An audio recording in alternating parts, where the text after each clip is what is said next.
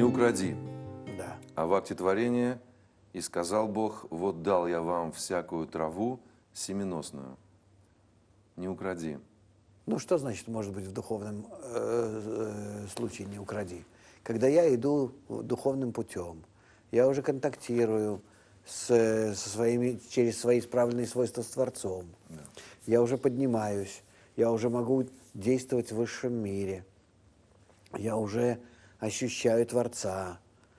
И появляются во мне такие противные желания. Это уже в ощущениях тв- Творца. Да, конечно. Нечистая сторона всегда готова, так сказать, тебе помочь, так сказать, э, куда-то утащить в сторону. И вот здесь вот и является «не укради». То есть что значит «не укради»? Не укради от направления к любви, к отдаче, к святости. Не укради в сторону своего эгоизма. Держись, стой на страже.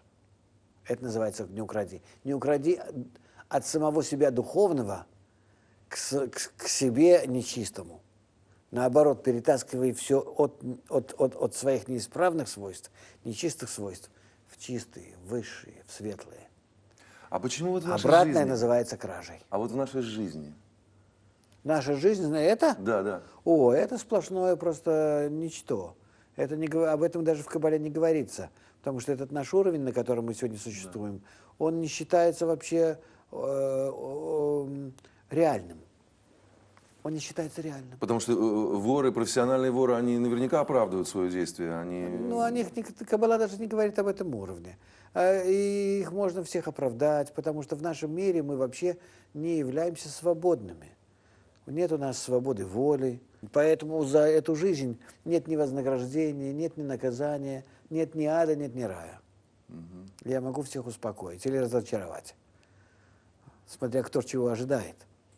Значит, нет после этого и жизни, если ты ее заканчиваешь на этом уровне, на котором ты живешь, то нет у тебя ни рая, ни ада, просто есть животное, которое умирает.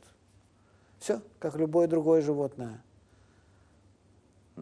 которое мы наблюдаем в нашем мире. Ну, если человек находится... Если ты развил свою душу из точки, которая в тебе появляется, точка в сердце так называемая, если ты ее развил до первых минимальных 10 сферот, это остается навечно. И продолжает развиваться из твоего кругооборота в кругооборот. То есть ты рождаешься снова в этом мире, достигаешь какого-то возраста, приходишь снова в Кабалу, снова начинаешь развивать и начинаешь развивать эту свою душу, пока не достигаешь всей высоты до уровня мира бесконечности. Возможно, тебе понадобится несколько жизней. Но только это остается из жизни в жизнь. Поэтому все прошлые наши жизни до этой настоящей, когда мы только почувствовали первое влечение к кабале и начали его, ее, это, это влечение реализовывать, это наша жизнь первая, она и останется. Только от нее и останется у нас впечатление больше, чем просто информационное данное. Вот соответствующий акт творения «И сказал Бог, вот дал я вам всякую траву семеносную» в соответствии с «Не укради». Что это за трава семеносная?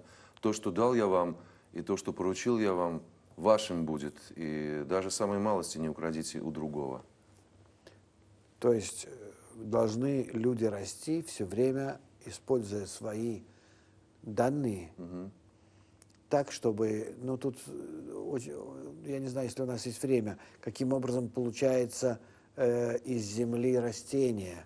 То есть мы должны перевернуть землю, перепахать ее, обернуть свойства эгоизма на свойства альтруизма, добавить воду, то есть свойства отдачи, свойства любви, тогда только получится из семян, из зародышей из наших э, следующий уровень. А земля представляет собой как бы с- с- э, окружение правильное для этого зерна, которое растет.